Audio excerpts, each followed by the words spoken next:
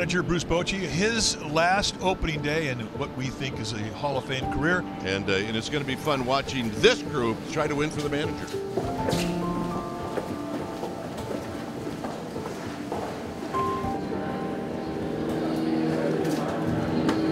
Last year, retirement year. What do you think? It's coming to an end, so I, I, I'm going to savor every bit of this year. It's been an unbelievable ride. There's so much that you know, to be grateful for. You know, with the players, the city, the fans. Uh, I haven't really thought about it, but maybe when you know when the ceremonies happen uh, right before the game, I'll probably do some reflecting. If you get one wrong, I won't tell anybody.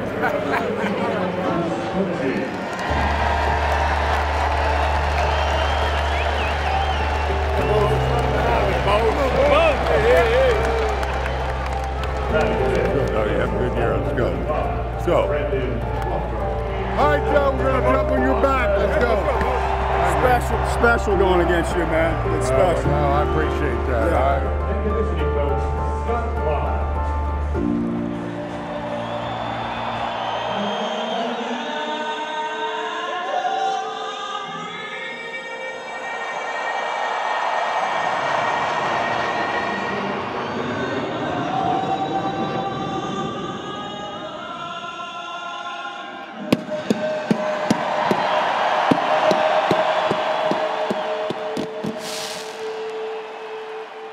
we are underway here in San Diego, game one of 162 during the regular season, the pitch.